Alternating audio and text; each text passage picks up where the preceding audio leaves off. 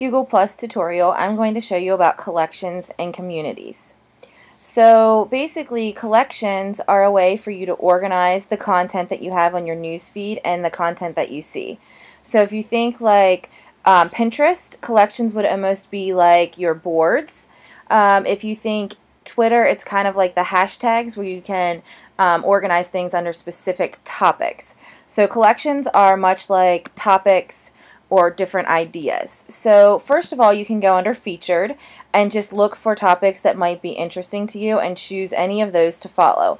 Once you follow a collection, all the things that are posted into that collection show up on your newsfeed. So if you wanted to um, find out about technology, you could click on the collection and you can see what's been posted in it recently to see if it's something that you are truly interested in before um, you follow it. There are many ways to follow it anywhere where it says the follow button. So it's on this screen. Um, in the previous screen, you can just click follow here. Once you've followed a collection, under following is where um, they'll be listed. So actually, let me follow technology. And then now whenever I go under following, there's technology. The other cool thing is that you can actually create your own collection. So if you go under yours, um, you can create a collection. So I'm going to start one here and I'm going to call this technology resources. And now at this point you can choose who is able to see the things that you put into this collection. Once you do this, it cannot be changed, so you want to make sure that you think this through as you're creating your collection. So you can have it open to all WCPS people, the public in general, your circles, which we'll talk about a little bit later, only to you, or you can customize and select specific friends for it to, to be able to follow. I'm going to leave it as WCPS. Um, you can add a tagline, so this would just be kind of a um, an exa uh, description of the collection. So um, educational, technology, resources, and ideas. So this helps you stay organized with what you're putting in the collection. Then you just click create. Now at this point you can get fancy. Uh, you can change the photo that goes with the technology resource collection or whichever collection you've created.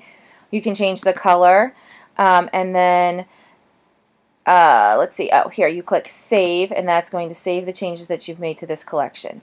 Now if you want to post into this collection specifically you again click the pencil in the corner, type your post and um, put it there. So if you had a link or something that you wanted to store you would click here, add the link and then post it.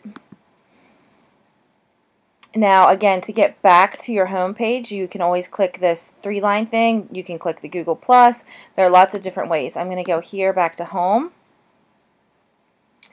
So you can see here too, I follow the education um, collection and this has been posted there. So that's something that just kind of goes with it. Uh, the communities are very similar to the uh, collections in a way. Communities are groups of people that share similar interests.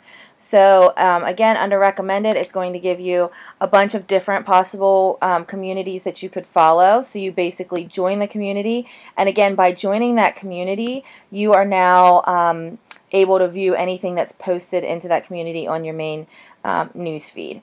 And once you've joined one, you can click the pencil in the corner to post into it as well. Uh, back at communities, you can see the ones that you are a member of. And then again, you can create your own. So you could create a community, even Fountaindale teachers. So um, maybe I wanted to create one that we would, as Fountaindale teachers, would use, um, you know, to all kind of gather together virtually to share resources and things like that. Um, so again, you can restrict it to WCPS or you can open it up to anybody. Uh, you can let's see, make it visible to anyone or only certain people. So if you wanted to do something where you you know you only wanted it to be your staff, then you would make it private and invite those specific people. You can click to have people have to ask to join your community. Um, so as you saw, I just joined a, a, community right away. I didn't have to, you know, request access or anything. You could leave it like that or you could ask people to join. Okay, so that's a little bit about collections and communities on Google+. Um, up next, I'm going to talk to you about how to create your circles and what circles mean.